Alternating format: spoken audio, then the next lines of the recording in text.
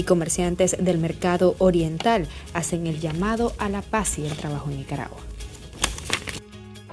A pesar del llamado paro nacional de la derecha, quienes quieren seguir afectando la economía de las familias, comerciantes y la población ha hecho caso omiso a ese llamado y continúa trabajando con normalidad en el populoso mercado oriental y hacen el llamado a respetar su trabajo y establecimientos porque solo desean atender su clientela.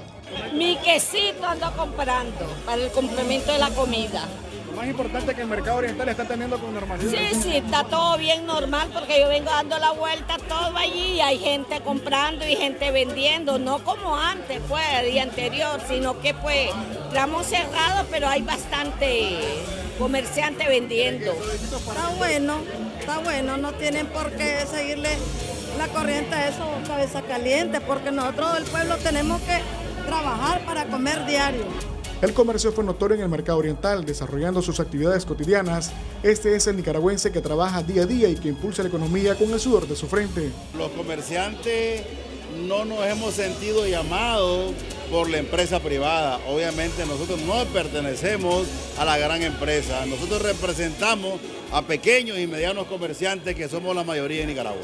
Eso es, ustedes también contribuyendo con el pueblo, porque es el pueblo el que llega a los mercados. Nosotros somos muy responsables, somos los mejores pagadores. Recordad que la empresa privada, la gran empresa, estadísticamente reporta pérdida en un 80% al fisco. Los comerciantes, aunque tenemos cuotas fijas, mensualmente vamos bien pagados nuestra energía, nuestra agua, todos los servicios básicos y el pago de nuestros impuestos.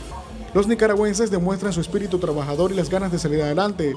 A pesar de que hay amenazas por parte de criminales, lo único que desean es trabajar y llevar el pan de cada día. Nesme Rodríguez, Multinoticias.